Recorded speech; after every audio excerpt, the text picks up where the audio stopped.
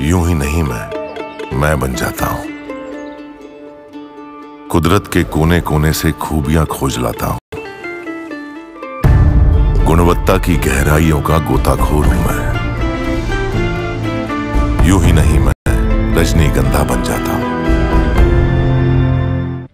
अच्छा आर्टिकल 370 हटाए जाने और केंद्र शासित राज्य बनने के बाद जम्मू कश्मीर को पहली चुनी हुई सरकार मिली।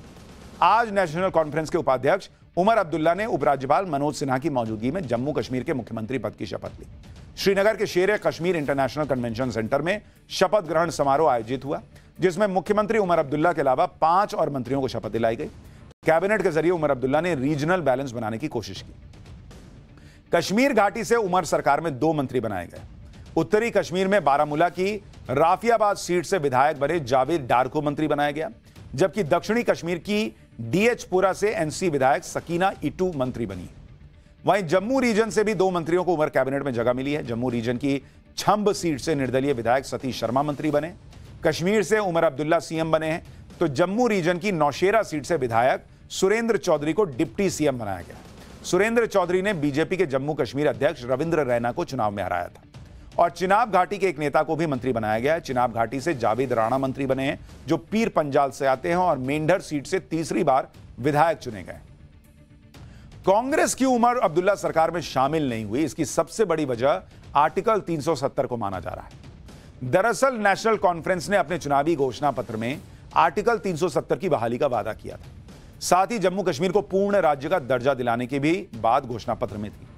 जम्मू कश्मीर को राज्य का दर्जा देने की मांग का कांग्रेस भी समर्थन कर रही। लेकिन आर्टिकल 370 पर लब सिले हुए हैं।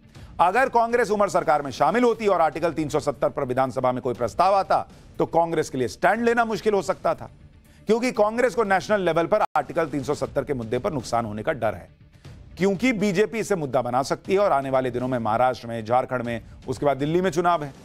अच्छा सीटें आई हैं मात्र छह। कौन सा ही बड़ा मंत्रालय मिल जाता या क्या ही बड़ा काम कर लेते? तो उन्होंने कहा, एक काम करो, इससे अच्छा बाहर ही बैठो। उमर अब्दुल्ला को उनकी ज़रूरत नहीं है, निर्दलीय उनसे समर्थन ले चुके उन्होंने कहा, बाहर बैठोगे? एक काम करो, और बाहर बैठो। इसलिए आज जब जम्मू कश्मीर में नई सरकार ने शपथ ली तो गठबंधन में होने के बावजूद कांग्रेस बाहर रही।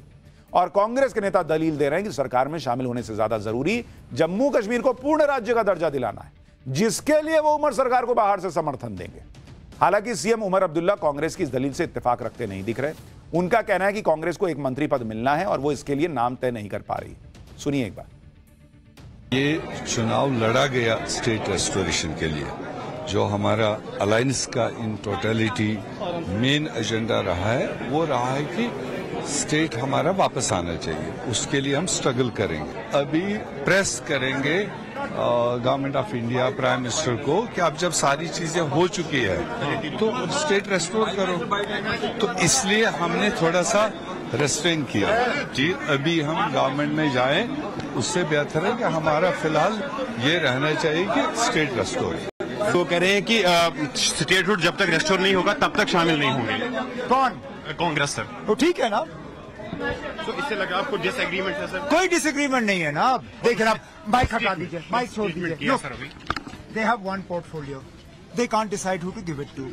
We'll wait. Let them decide. When they're ready to give it, we're ready. Omar Abdullah के शपथ ग्रहण में पहुँचे कांग्रेस अध्यक्ष मल्लिकार्जुन खड़गे भी सरकार से बाहर रहने की कोई खास वजह नहीं बता पाए मल्लिकार्जुन खड़गे को भी एक बार सुन ही लीजिए फिर आपको कांग्रेस पर फारूक अब्दुल्ला का वो बयान सुनाऊँगा, जिसने कांग्रेस के उमर सरकार के बाहर रहने की वजह को काफ़ी हद तक साफ़ कर दिया। उनको मुबारकबाद देने के लिए यहाँ आया हूँ। हमारे को बड़ी खुशी हो गई। हमारी अलायंस पार्टनर के नेता ने आज चीफ मिनिस्टर बना। बहुत दिन के बाद डेमोक्रेसी यहाँ एस्टैब्लिश हुई है और इस डेमोक्रेसी को ज़िंदा रखने के लिए और संविधान के तहत सरकार चलाने के लिए ये एक मौका मिला है। हम ज़रूर इसको स्टेटहुड दिला के रहेंगे। अब सवाल यह है कि क्या कांग्रेस सरकार में शामिल हो जाती तो स्टेटहुड नहीं मिलेगा क्या? कांग्रेस भले ही जम्मू कश्मीर में सरकार से बाहर रहने के लिए कोई दलील दे, लेकिन यह भी किसी से छुपा नहीं है कि चुनावी नतीजों के बाद नेशनल कॉन्फ्रेंस भी कांग्रेस को ज़्यादा भाव देती दिख नहीं रही। क्योंकि नेशनल कॉन्फ्रेंस ने यह सोचकर कांग्रेस के साथ गठबंधन किया था कि गठबंधन होने पर वो जम्मू में बीजेपी को टक्कर दे पाएँगे। जिसके लिए जम्मू में कांग्रेस को ठीक ठाक सीटें भी चुनाव लड़ने के लिए दी गई। लेकिन कांग्रेस का प्रदर्शन बहुत ही खराब रहा। कश्मीर में नेशनल कॉन्फ्रेंस ने शानदार प्रदर्शन किया जम्मू में कांग्रेस चुनाव लड़ी 30 सीट पर जीती एक।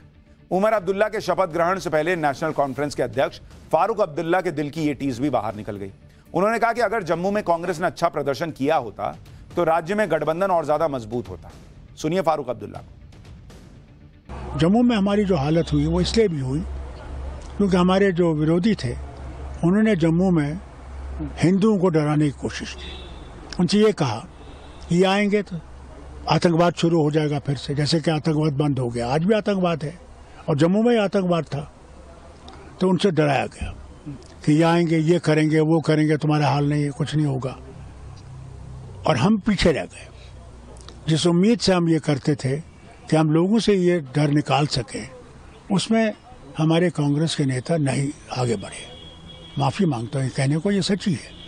अगर वो इससे ज़्यादा आते, लोगों में बैठते, लोगों के साथ जाते और लोगों से कहते, ये जो प्रोपेगेंडा कर रहे हैं सब गलत है। हम आपके साथ भारत आपके साथ है। तो मेरे ख्याल से हमारी स्थिति ये नहीं होती जो आज हुई है। यानी फारूक अब्दुल्ला भी कह रहे हैं कि कांग्रेस ना हो पाया। वैसे जम्मू कश्मीर में आर्टिकल 370 की बहाली की रट लगाने वालों को नए जम्मू कश्मीर की, नई सरकार के गठन के बाद की इस तस्वीर को देखना चाहिए, जहाँ नए नवेले मंत्रियों की गाड़ियों पर अब सिर्फ़ तिरंगा लगा हुआ नज़र आ रहा है। जबकि आर्टिकल 370 हटने से पहले जम्मू कश्मीर के मंत्रियों की गाड़ी पर दो दो झंडे होते थे, एक राज्य का, एक भारत का। लेकिन नरेंद्र मोदी ने जम्मू कश्मीर में फिर तिरंगे को स्थापित कर दिया कि सिर्फ़ तिरंगा ही सबसे शक्तिशाली था है और रहेगा। आप राजनीति का फ़र्क भी देखिए कि एक तरफ़ जम्मू कश्मीर है जहाँ तकरार के साथ इंडी गठबंधन सरकार बना रहा है। आपसी खींचतान चल रही है। दूसरी तरफ़ हरियाणा है, जहाँ आज बीजेपी ने अपना नया सीएम चुन लिया और सब कुछ शांतिपूर्वक हो वहाँ पर अमित शाह पर्यवेक्षक के तौर पर गए थे। वैसे भी किसी की हिम्मत नहीं थी कि कोई कुछ कह देता। और बीजेपी में अपना अनुशासन भी है कि वहाँ किसी कुर्सी को लेकर खींचतान नहीं इसलिए आप देखिए कि जो लोग हरियाणा में सीएम पद की दावेदारी कर रहे थे, उन्हीं ने नायब सैनी को सीएम बनाने का प्रस्ताव रखा। हरियाणा में नायब सिंह सैनी को बीजेपी विधायक दल का नेता चुन लिया गया। कल सैनी मुख्यमंत्री पद की शपथ ले लेंगे।